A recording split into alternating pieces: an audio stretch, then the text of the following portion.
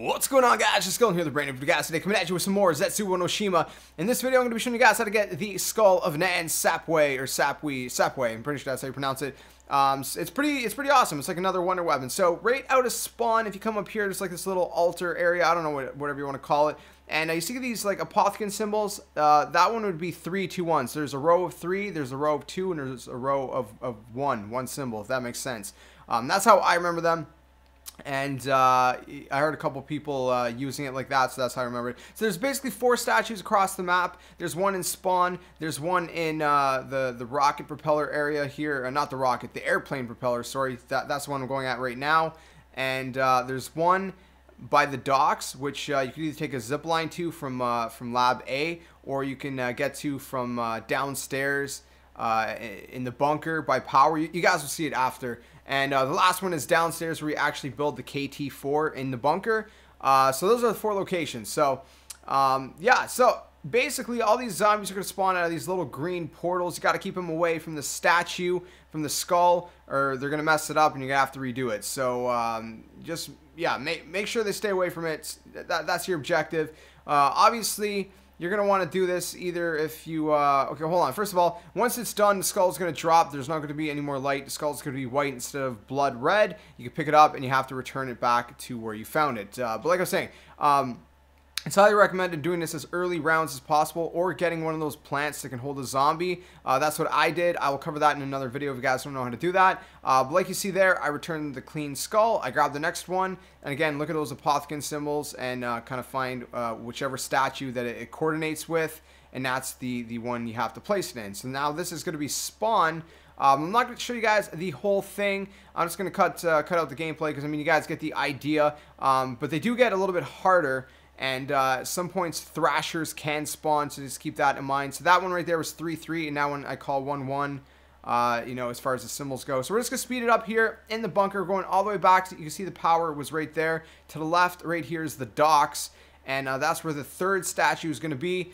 And uh, so yeah, so do it again here, and you can see in just a second right there, there's a Thrasher that spawns. So, I mean, obviously, just take care of that. Uh, it's really good to have the KT4 for this uh, for the, these these sections. Um, I'm, I'm sure you could do it without it, but it's it would be a lot harder. So, anyways, once you do that one, again, return the third skull and grab the last fourth bloody skull, and uh, you got to go clean it. You got to go clean them up. So we're to return to the bunker, but we're going all the way downstairs this time. So you're to pass Pack-a-Punch. In the Pack-Punch room, you're to go behind Pack-a-Punch. This is the room with all like the uh, the test experiments, if you will, the creepy uh, you know experiments the people that got experimented on in the in the canister things whatever you want to call it. And uh, down here right by the kt4 you see, see in the back there there's the kt4 ta uh, table the crafting table. Uh, this is where gonna be, the last one's gonna be and it's kind of it's kind of hard man because it's, it's really cramped in this area and I, I feel like the most zombies spawn in this area. I'm pretty sure that's what happens um, but yeah, so it's going to be fourth ones. Just be very careful. Like I said, the KT4 helps a lot. It helps a lot, a lot, a lot. And uh, if you have a pack-punch weapon for a secondary, that, that'd be helpful. But uh, do it however you want. So once you place the fourth one back in, this tree is going to be it's going to vanish. It's going to lift. It's going to go away. And it's going to open up this little downstairs area that you can come in. Now, um, what you have to do is start this ritual. There's a little skull in the middle. You gotta go up to it, press square. I didn't do it right now because I had all these zombies coming at me, and uh, I wasn't I wasn't sure what was gonna happen. So I came back and I had a spider round, and I activated it right away as soon as the spider round ended. And uh, so you can see it's kind of like a keeper round. All right, so it's, it's kind of like uh, you know, like in Origins or in in uh, Shadows of Evil, the rituals. It's something like that. So you gotta keep you gotta keep killing the keepers. And uh, I, I don't know if you have to keep them away. All I know is that when you kill them, it fills up the skull. So either way, you got to kill them.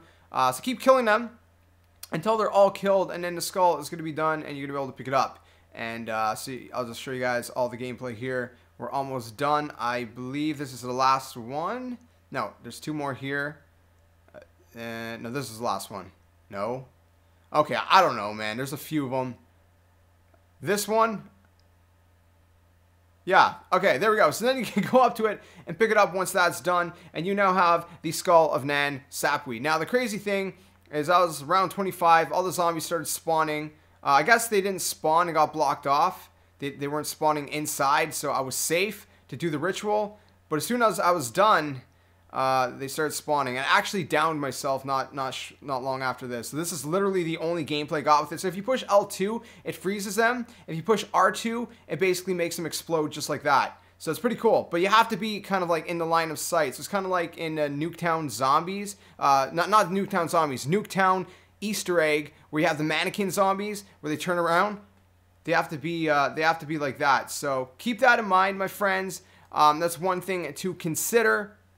Um, but yeah, that's pretty much how you do it. So it's pretty cool. It's pretty, uh, pretty awesome, a little uh, weapon. But that's how you do it, guys. That's how you build this Skull of Nan Sapway. And uh, hopefully that helped you guys out. If you guys did find this informative, make sure you drop a like. It'd be very, very much appreciated, my friends. And uh, if you guys have any questions, if you need any more help, don't hesitate to ask me in the comment section below. But let's wrap it up for this video, guys. If you guys enjoyed the video, please smack that like button, subscribe to the comment, and all that awesome stuff. I'll catch you guys in the next video. And like always, until then, Game on.